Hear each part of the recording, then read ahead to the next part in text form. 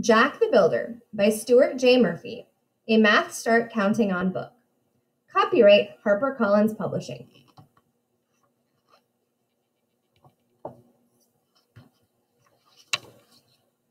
Blocks, blocks, blocks.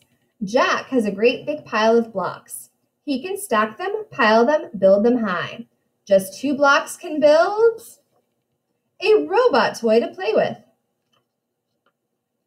Jack has two. He'll put one more on top. Three. Three blocks can be a hot dog stand to get a treat. Jack has three. Now he'll add two more. Four, five. Five blocks will make a ferry boat out on the sea.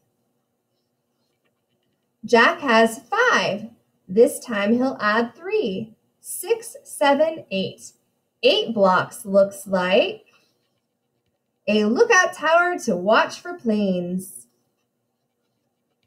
Jack has eight. He'll put four more on top. Nine, ten, eleven, twelve.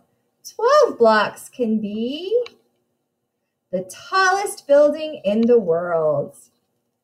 Jack has 12. Now he'll add five more. 13, 14, 15, 16, 17. 17 blocks becomes a rocket ship ready for takeoff. Now blast off. No more rocket ship, no more building, no more tower, no boat, no hot dog stand, not even a robot friend, nothing but a pile of blocks. So Jack can start again.